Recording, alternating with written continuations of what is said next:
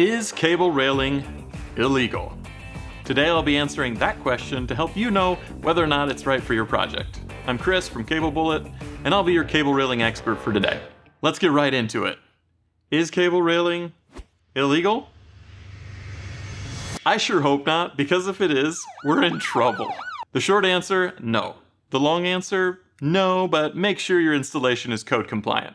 There are a few municipalities that we're aware of that might have codes prohibiting cable railing, but overall, cable railing is widely popular and accepted in most areas. You just want to watch out for a few key requirements. When we designed our guidelines for cable railing, we based them on the International Residential Code, also known as the IRC.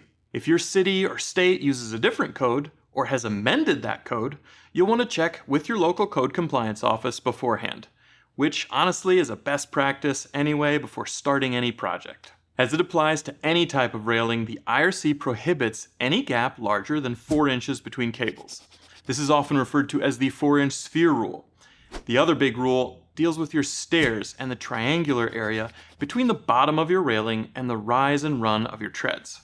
Lastly, you'll want to be aware of any local code nuances. Again, consult with your local code officer before starting your project. You'll avoid a lot of headaches that way. To wrap this all up, there's a very high likelihood that cable railing is perfectly legal for your home. Just make sure that you're installing it in compliance with your local building code and to cable bullet specifications. There is no prohibition in the IRC, which is the most widely used code standard in the United States for residential construction. Hopefully this gives you a good idea of the legalities of cable railing. Be sure to leave any questions you have in the comments below and start your project today at cablebullet.com.